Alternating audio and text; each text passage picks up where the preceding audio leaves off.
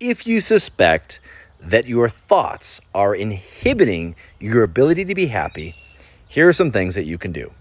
First of all, if you are suicidal or in any danger, you need to go see a mental health professional. Call 911 and go to the hospital. Putting that aside, let's go on. Some people are barraged by negative thoughts. It's almost like they're in the middle of a river and the water is just flowing over them and they're drowning and they can't get out. It's like being a victim to your own thoughts. So, one of the first things that I would recommend that people do is learn how to swim mentally. You can do this through something called meditation or mindfulness. I made a separate video where I talked about how to do this, but you can look it up. The next thing you can do is something called a mantra. Sometimes we will have a persistent negative thought that will attack us again and again and again, and we can't get it to go away we can use a mantra, almost like a sword or a weapon or a shield, to fight back or beat back this thought that will not get away from us. A mantra can be different things for different people, but in this context, think of it like a positive phrase that has meaning to us that creates an emotional response inside of us. I had one patient that would simply say, I am a good person, and they would shout that over and over again until they felt better. You can say anything you want. You could say, I'm the king of the world. Whatever creates an emotional response for you is going to work.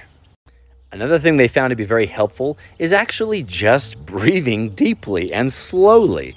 Uh, one study was performed in which they had people breathe seven times very slowly and deeply, and it caused this dramatic change in their brain activity and calmed them down.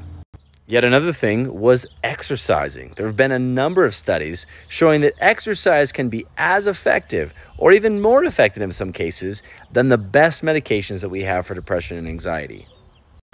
The next thing is journaling. They found that if people write down their goals in a journal and keep track of what they're planning to do the next day and what they did the day before, this can be tremendously helpful for some people. Oddly enough, another thing that was very helpful was stretching, often called yoga. The next thing is getting out of your house.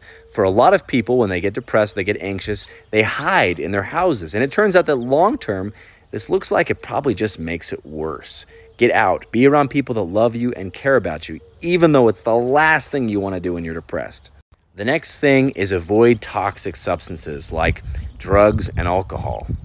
It might make you feel better in the short term, but in the long term, it's going to sacrifice your well being.